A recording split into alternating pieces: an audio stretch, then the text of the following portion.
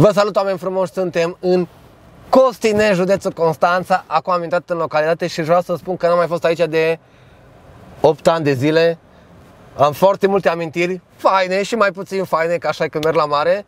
Și vreau să, dacă mă, mi se trezește nostalgia când trec pe aici, așa că vreau să veniți să parcurgem această localitate alături de mine. Ca orice loc special care se respectă, are un drum de intrare, un pasaj, așa care te ba- știi că intri într-o atmosferă mai specială.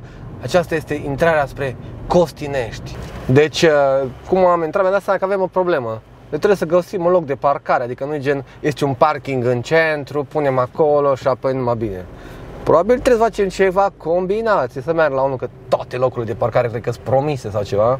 Merg la ceva, dăm 50 de lei și nu. Uh, poate ne rezolvă să ne ținem mașina câteva ore cât filmăm pe aici. Eu am venit și în anii de liceu aici și pot să vă spun că atunci țin minte că mergeam și nu prea erau mașini, adică știu că se juca fotbal pe drum și din alea, adică știu că am băgat la mat un tenis cu piciorul. Acum îți dai seama că strada e, ora, strada e locul mașinilor, n-au ce căuta oamenii pe aici. Deja toți iau la mașină. Te salut! Te salut, salut. Ce faci? Bine, am venit la mare. Me- Acum se merge la plajă? Da, da, da. Nu vă omoară soarele ăsta? Nu, nu, că stăm la umbră, că avem pe partea cealaltă, avem uh, umbrele. Ok. Și sunteți trupă mare? Cât sunteți? Ce vedeți aici? 10 oameni? Da, da, da. În orice trupă care merge la mare, există unul care el matinal trebuie să meargă la plajă, știi? Și pe aia își caută, nu, nu, vii, vii la plajă, ai zis că vii la plajă dimineața, nu? Și pe tu cu seara înainte ai băut, te-ai petrecut și Bă, hai să mai stai o oră. Nu, că acum să, să mergem să, să fie fain, că acum e răcoare și nu știu, hai mă, lasă, mă, să...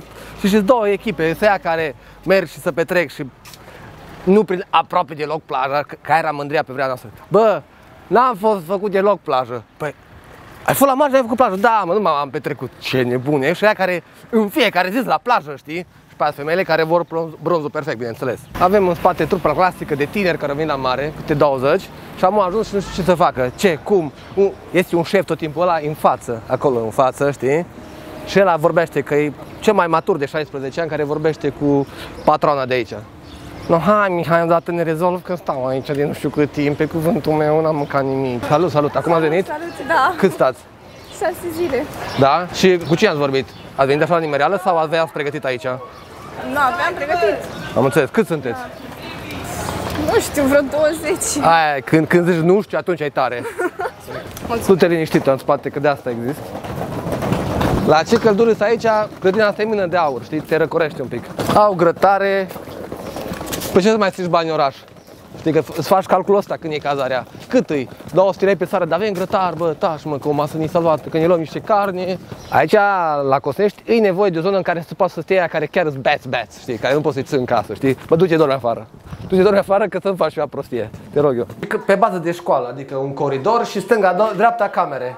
A 11-a B, a 11-a A și așa mai departe. Și câte, câte în cameră cât sunteți? 2, 3. Deci e o chestie, e o chestie flexibilă. Gândesc că asta e camera ta, nu? Da.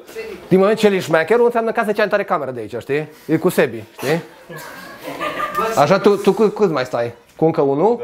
Plus plus 1, nu, nu se știe, sau plus 1, sau așa mai departe. Și ați venit exact cât ați promis sau ați venit cu 1-2 în plus? Ne-am încurcat la când am luat camerele Da? și nu știu, dar suntem bine. Te înțeleg că acum ai bătaie de capi, haos, dar crede-mă că de mâine o să fie șmecher, că până la urmă tu e, tu, tu e. 240, nu? Uite, a venit domnul pretor. Vă salut! Vă salut! Oh, la fix! Trăiți, Bună că ziua! vă urmăresc. Mircea mă numesc. Dan, bă, Ce faceți? Copiii ăștia de nota 10, acum am cunoscut, dar i-am simțit. Deci de 11 ani cazați lumea care vine la mare, nu? Da, da, da. Și mă gândesc că ați avut multe povești, că pentru că lumea vine la Costești să se petreacă, Da seama, da. Și fiind uh, stațiunea tineretului, uh, mai mult tineret, uh, na, mai rebel câte unii. Da, da. Ne zic, aș vrea să dau timpul înapoi să fiu și eu ca ei. Păi poate vă iau în cluburi, vorbim cu ei, merge toți împreună cu ei. Ne luați în club cu voi. Deci știi cum e la Costinești? Odată ce găsești o cazare bună, o gazdă bună, cu aia te duci înainte. Deci dacă, cum au venit copiii ăștia aici, le-au plăcut. La anul tot aici, peste 2 ani tot aici, așa am fost și eu. Am găsit, cred că pe a 10-a, Vila lui Mihai, următorii 3-4 ani, tot acolo, nu? Că gen, bă, parcă ar vrea să cer ceva nou. Nu, siguranță. Știu unde să mă duc, știu unde să-mi parchez mașina, mă rog, n-aveam mașină, știu unde să mănânc, unde să-mi las haina, unde să stau când îți beat. Doamne ajută! De ce crezi în primul rând că vin tinerii la Cosinești? Pentru că pentru distracție, Da. prețurile sunt foarte accesibile. Da, Distracție, cât e, voie o, cât e o cameră? Depinde de perioadă, depinde de... Păi o punem cea mai bună perioadă, adică în weekend, acum la final de iulie. Cât e să vii de vineri până duminică să stai două zile? O cameră dublă cu aer condiționat 200 de lei 200 lei. pe noapte. Deci poți să te iei un cuplu, doi, doi tineri. Îl Salută și pe domn primar care vine acum, uite, cu Care domnul domn primar? Cu X6 aici. X6. Domnul primar, domnul Salut. primar, să trăiască Dacă domnul trăiască primar. domnul primar. Am înțeles, deci îl cunoașteți, nu? Pe domnul primar. Păi dar scuze, dacă e primarul, cum să nu A, cunoști? dracu. Oameni buni, nu stați în soare, hai la mine la cazare, Bună, vă sunt băiat salut, cu mulțumesc. suflet mare, vă dau și o Uitați. răcoritare. Mă lăsați să încerc și eu când vine un Eu, grup că ca poate gică. că vin. Păi dacă vreți, fiate, lasă singur, că nu știi cine. Lasă, lasă, lasă, lasă. Salut, salut! Vă salut! Uh, mi-am luat cazare aici, dacă vreți să veniți și voi.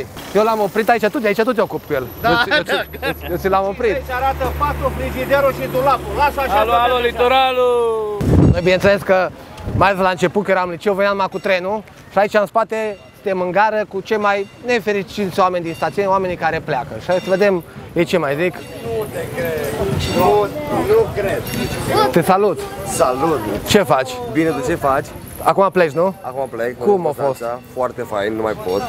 Și, și cu câți bani pleci datorie? nu știu, Nu? foarte mulți. Da? Foarte mulți. Ai luat împrumut stânga-dreapta? De peste tot. Da? Dar au meritat? Da?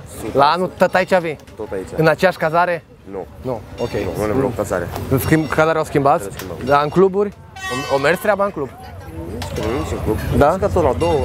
Da, da, da, e adevărat, am uitat că ora două. E bun. Unde mergi? Constanța. La Constanța? Da. Fai, drum lung, grijă de tine. Vezi cu schimbarea de fus orarii nașpa, Co- Cosinești, Constanța. Da, da cum să nu? Ceau. Uite-te aici, bărbați adevărați care sunt la bustul gol, li se rupe muzica la maxim, o să blocheze traficul, nu-i problem, stați că e șmecherii. Ok, vă lăsăm, ceau. Mersul la mare e un proiect foarte amplu și de asta era treaba că a luat un buget din timp și mergea la diferiți sponsori. Maică ta, mătușă ta, bunică ta, să adun bani, știi, să strângi. Numai sponsorii ăștia vor și ei ceva înapoi și atunci trebuia să aloci o sumă de bani din bugetul respectiv să iei cadouri. Și apoi trebuia să vii să cumperi un breloc, o cană, ideea chestii cât mai mici ca volum, că oricum în bagaj. Nu știi cum le-ai pus la început, dar a doua oră când le pui la loc, e foarte greu să mai încapă, la care mai dau și cadourile, doamne și ferește. Dar cadourile sunt o parte importantă din versul la mare. Și în sfârșit am ajuns cu adevărat la mare, aici simți că e mare, aici auzi că e mare, aici miroși că e mare, ai, ai, ai, ai. Aici e mare.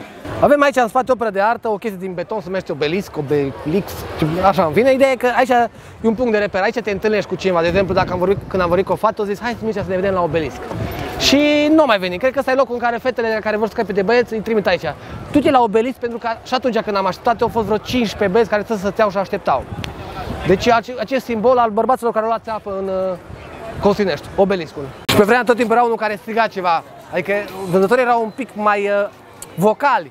Parom la 5 lei, bilete la teatru de vară, șlapi, șlip, ceva, totul la ceva, știi? Acum văd că lumea e mai chill, sau poate pur și simplu că e 10-11 dimineața. Ești cam cel mai șmecher de aici, sincer. Mulțumesc frumos! Și de ce? Că ești singurul de care mi-a fost frică. Când ai zis, bă, ce faci? Am zis, ioi, eu nu fac poza așa, mi-o iau, știi? Și acum o dumă numai pentru fani adevărat. O știți pe vecina aia mea mai specială, Doina. Am zis că cel mai tare, serus, serus, cel mai tare documentar posibil ar fi să o luăm cu șase camere în jurul ei, să o aducem în Costinești, în centru. Să vadă dacă observă ceva neregularități legale, adică de sunet, de miros, de ceva, habar n-am. În acești ani de când am mai venit la Costinești s-au schimbat multe lucruri, dar anumite lucruri sunt fixe și nu o să se schimbe niciodată, și anume terasa Albert. Este un restaurant care nu m-a plătit, nu are nevoie de reclamă pentru că este punctul zero al Costineștiului. Tot timpul aici te vedeai și dacă erai șmecher, aici mâncai. La siguranță, la Albert. Just Albert. În caz că ați văzut oameni pe stradă care se grăbeau să vină la plajă, uitați, ăsta e motivul pentru că e 10 jumate și nu mai ai cum să prinzi ochi pe plajă în primii 30 de metri, să zic așa. Avem în spate simbolul Costineștiului și anume mega discoteca tineretului. Aici era, aici se încheia seara, deci făceai ce făceai pe zi, aici era locul în care să vii seara, foarte, foarte mare. Mi se părea un oraș când am venit aici. Ziceam, cât, mă, cât Becleanu? 12.000 de locuitori să aici, habar n-am, știi? Și aici am văzut toți artiștii, adică primii mei artiști mari aici am văzut, știi? Mădălina Manole, Piugi Mafia, nu știu. Te-am văzut că erai din categoria socială mai de șmecheri, Așa. pentru că sunt care stau cu prosopul pe plajă, sunt care stau pe șezlong și ăștia care stau pe baldachin. Deci tu ești cu șmecherii, nu? Exact. Wow, și cum e să fii cu șmecherii aici? E greu. Da? E foarte greu, jur. De-abia l-am Te găsit. salut, te salut! Dormea că e ca o văztit. De cât timp ați venit la mare? Astăzi am venit. Astăzi ați venit? Plecăm mâine. Ah, ok, deci o zi, dar acum trebuie să scoateți la maxim din ziua asta, nu? Logic, nu? Și cum a fost? cu- Nu ți se pare că e un pic cam aglomerat aici pe E plaj? foarte, nu mai vin niciodată aici. Nu? Nu, e foarte aglomerat. Da? Ăștia care au baldachină, ăștia de aia care au masă în club. Să știți chestia Nu, asta. deci n-avem, jur, nu. Ăștia și mai tare sunt genul care n-au masă, dar rezolvă cumva. Rezolvă. Parcă văd că or fi acum masă, fix în mijloc, în centru și așa mai departe. găsim. Și să știu ce beau șmecherii. Fra, fra, Doar frape. Da, ok, foarte bine. Nu, să știu numai, să recunosc așa. Bun, ce să zic? Mult succes! Unul din simbolurile Costineștiului și anume Epava, o avem acolo. E și un fel de graniță până la urmă, adică acolo să gata Costineștiul. Dacă întrebai pe unul, bă, unde, unde ești cazat? A, păi mai lângă Epava, adică gen... Oh, oh, oh, nu, las că nu e vedentura asta că suntem la mare. Hai mai la oraș, hai mai la centru, de bunule. Am reușit să ajung la mare. Ai, ui, m-am mutat! Deci foarte greu, e ca un labirint până am ajuns aici vreo câteva, câteva minute, dar am reușit. Vreau să spun că multă lume care am eu aici, de fapt, nu se bagă. E ca și cum ce, bă, am ajuns, da? Șmecheria e să fiu numai la picioare, nu te bagi în apă, știi, numai aici un pic. Cum puteți vedea încolo, uitați cam câtă lume este, da? Toți sunt oameni bucuroși că au ajuns la mare, care nu toți s-ar băga acolo. Mulți, majoritatea sunt aici fix să se de la picioare. Avem aici în spate un dozator de bere care de obicei ce se întâmplă? Merge unul din grup la bere și zice, bă, merg la bere, da. Ia și mie și la Mihai, dar stai să întrebi pe Luci. Luci, vrei? Da, ia și mie două. Și ajunge omul să zici că, bă, dăm tot dozatorile. Salut, salut, poftă. Apă, o bere, haide să te Tu, tu ești aici? eu Uite, sunt hai, eu, suntem tata. cu, suntem cu șeful de aici de la Ce vrei, să dozator. ia comandă ce vrei și plătești mai icon sau eu? Bă, eu n-am nicio oapă. Mulțumesc mult. Mircea, sunt fanul lui, poate și tu al meu, pe viitor. Da, mersi mult. Mulțumesc bine. mult pentru că mi-a făcut cinste. Rămân dator. Când ai nevoie de ceva, cazare la Cluj, să dau mașina, viața, pentru apa asta, orice, șeful. V-am spus mai devreme de mega discoteca tineretului, care era cel mai tare. Vreau să vă spun că cel mai tare transfer al mileniului a fost când MC Gio da Silva, de la tineretului, a venit la Club Ring. Și aici s-a mutat șmecheria. Și era unii care încă nu știau și nu hai să mergem la tineretului. Tu ești prost, mă? Păi Gio da Silva e la Ring. Și erau cele două cluburi rivale, ca Barça și Real, în două locuri opuse ale Costineștiului. De aici, din gară, vreau să vă mulțumesc că m-ați urmărit. Acesta a fost Costineștiul, acestea au fost amintirile mele legate de Costinești. Dați un like și un subscribe în caz că nu ați făcut-o încă și spuneți-mi, vă rog frumos, ce vă aduce aminte de Costinești.